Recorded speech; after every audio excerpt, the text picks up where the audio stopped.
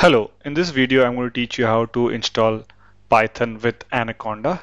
So I'm on the website anaconda.com and as you can see there's a lot of things that are going on uh, on this particular platform, right? So there is this Anaconda distribution, enterprise, training, professional services, all of that, right? So we're going to focus on the Anaconda distribution which is primarily free and uh, readily available for anybody who's pursuing a data science or a machine learning or a data scientist path. So let's go ahead and look at the download section. So if I click on download here, um, you're going to get a quick overview of all the platforms and the kind of most famous libraries are available here, right? So that's some of the things that you can just quickly get a glimpse of. And then when you move on, you're going to also see uh, the download section, right? So you have Python Anaconda, Python 3.7 version, uh, which the Anaconda will help us do it, right? But what you need to do is be able to select the right operating system for you to install on, right? So for example, if I select Windows, I'm going to get this Anaconda 2019-07 for Windows uh, installer, right? If you want a Mac OS user, you can select the Mac OS version, and if you're a Linux user, use the Linux installer, right? Just be careful with which, whichever uh, version you are trying to install. So I'm going to select on Windows since I'm I'm on Windows and I I have a 60 64-bit graphical installer. Um, I'm going to choose this because that's how my uh, operating system works. Now, if you do not have a 64-bit graphical, um, you know, 64-bit system, I highly suggest uh, at least increasing your RAM to minimum 8 GB for it for Anaconda or Python to work properly. So uh, I have 16 GB RAM and uh, i7 processor, right, um, and an NVIDIA graphic card, which should be sufficient for uh, any basic level of machine learning uh, things that we can do here. So I'm just going to click on the download button and let it download.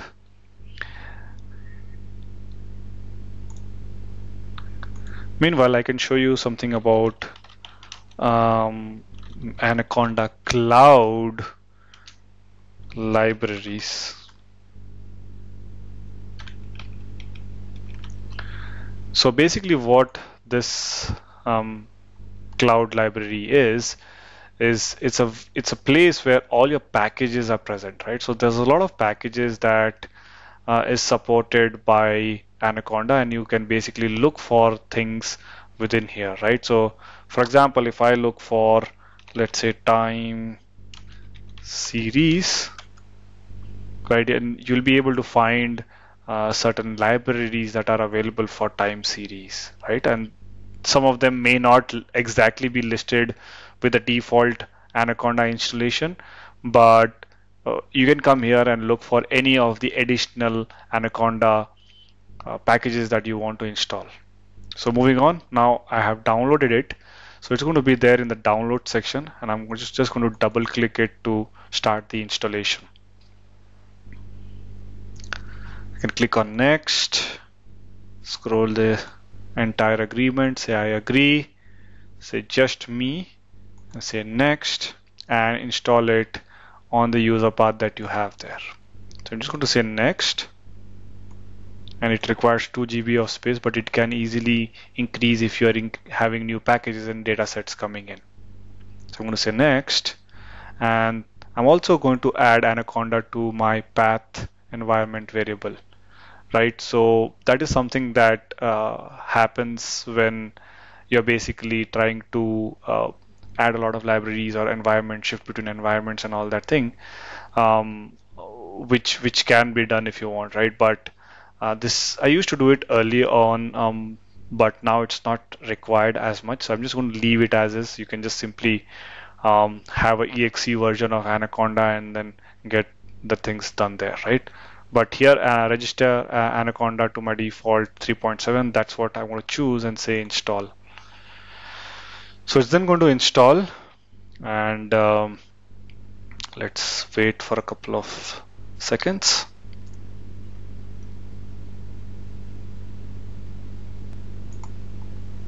So while that is downloading, what we can do is uh, come back to this particular information that we have here. So in this anaconda.org, uh, you can basically look for any packages that you want. Now, uh, the way to install this is uh, to take these name that you have here, that is R time series, and just use the conda install, right? So as you can see here, um, by default, the industry uses in Python generally a pip install, right? Um, so in in um, Anaconda world, it's going to be a conda install, right? Just because um, Anaconda has stitched together all of these components together, and it, and pip install may break uh, the the Anaconda installation of Python, right? So you want to stick to installing things with Conda, and uh, whatever are available on the Conda install, they will be present within this uh, website. So I'm going to paste this link, both of the links. I'm going to post it in the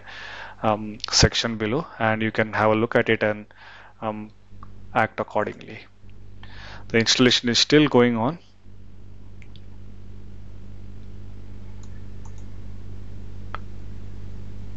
So this portion uh, takes quite a while and if it's stuck for you just wait for a while before uh, you can basically use it. So while this is uh, going on what I can do is I can share with you uh, something that uh, we're going to use within Anaconda and it's going to be Jupyter Notebook. So to get a feel of it, you can basically Google free Jupyter Notebooks online and then click on the first link. I'm going to paste this link below also. So it's going to be jupyter.org try. So if you click on this link, try the classic notebook is what we're going to try or basically try Jupyter lab, right? So any of these things you can try. So I'm just going to let's try the Jupyter lab.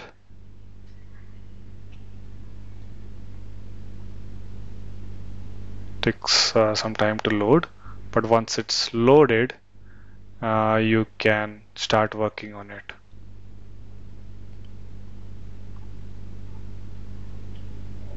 As you can see here, there's a lot of things uh, that are available.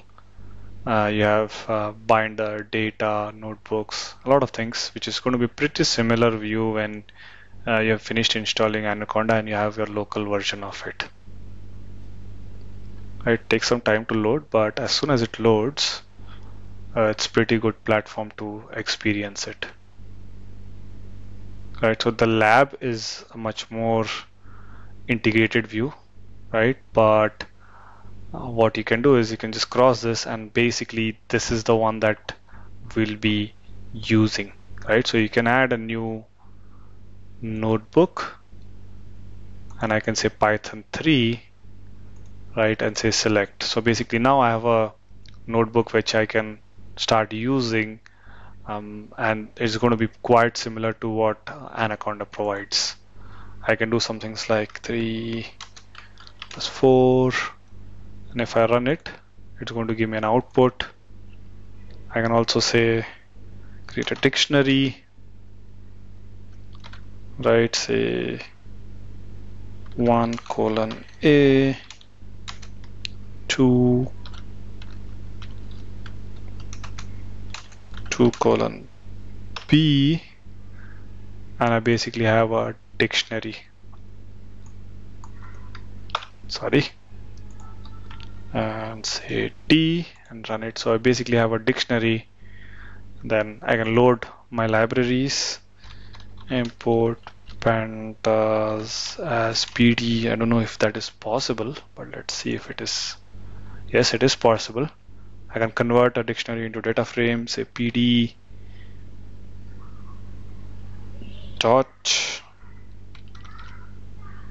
PD dot data frame and give it the dictionary and it's going to basically convert it.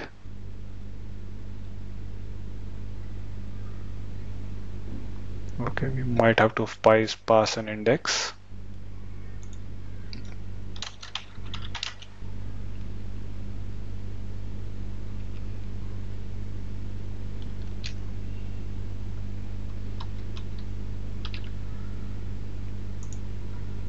and we basically have the data frame that you have here.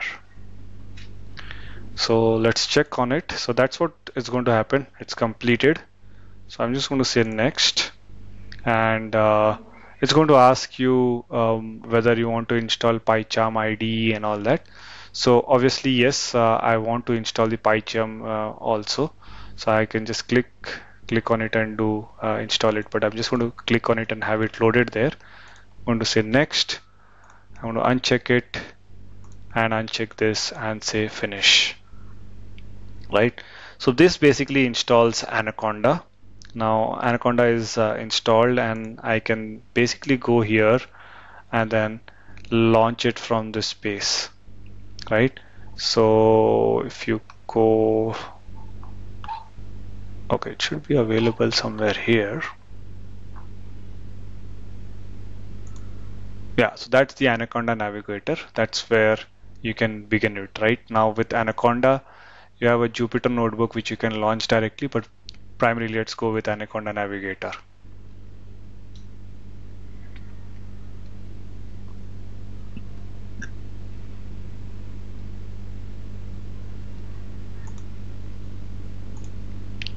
Okay, so going to say it's, uh, yes, I would like to help improve Anaconda. If you want to, you can do that, or you can just say and check and say, okay, don't show this message again, which I will do, right? Now, as soon as you install Anaconda, you're going to see a list of apps which is quite similar to your mobile phone where you have all different apps and all that thing. And some of them may be installed. Some of them will not be installed. Right? Uh, we basically have the Jupyter notebook here. And Jupyter lab that we saw uh, is what we had uh, in this bat here right? This is the Jupyter lab that we we have right? So we primarily go with Jupyter notebooks because it's much more easy and simpler to um, while teaching and initially beginning with. So Jupyter Notebook is something that we'll be going at right? Also applica applications on base. Now this root is what we will explore right? So what does that mean? So if you go to the environment section you'll see that you'll have a root section here right? And by default Anaconda installs uh, 273 packages uh, for you directly right now which otherwise used to take a lot of time and all of them are installed for data science pretty much your pandas, your NumPy, scikit-learn, all of these are installed by default, right? So you can just quickly start and get uh, get started. Also, you can create a new environment. Uh, let's say, for example, for web development, you are using it, and then you can choose a version that you want to create it, right? If you want R version, you can also create a R version and uh, create that environment. But um, you can work with both R and Python within this Anaconda environment itself, right? So that's something you can do. You can also replicate this particular version um, uh, and uh, uh, have uh, another version of it um, just so that you can um, whenever things do not break in one particular system you can switch to other system and do it. You can also remove certain certain parts of it. Also uh, we have a learning section which has a lot of resources available for you to uh, experiment from and read from right? There's a lot of videos that you can also see and uh, i personally learned a lot from these places so i highly recommend you check out this place uh, when for learning right? It, it gives you a lot of things which otherwise might not be easy to find on google itself. Then you have a community. Basically you can join a lot of communities which give latest happenings within the industry and also they they give you a lot of ideas to use uh, Anaconda and Python for data science. So this uh, highly suggest some of the groups you can join and uh, you know be part of it uh, just to advance your knowledge in what's happening latest within the industry. Data science is always a constant evol at constant evolution so you need to be really connected with the learning platforms and community platforms to be basically gaining the max out of it. So I'm going to go back to the home and then launch the Jupyter Notebook. So when you say launch Jupyter Notebook, it's going to ask you where do you want to do it. So I'm just going to say Google Chrome for now. That's the app that I have and I'm going to say OK. And it's basically going to open the uh, platform for you. Right. So here's where you can get uh, started off with you have basically all the documents uh, available with you here and this is basically pointing to the documents uh, folder uh, here right um, uh, uh, not exactly the documents folder but uh, primarily this particular folder where uh, you have your you know um, your user settings and all that. Let me just go to that. And it's basically pointing to this particular folder. So you can go into documents right? And it's going to be pointing to the documents folder here right? So whatever folder you create here um, let's say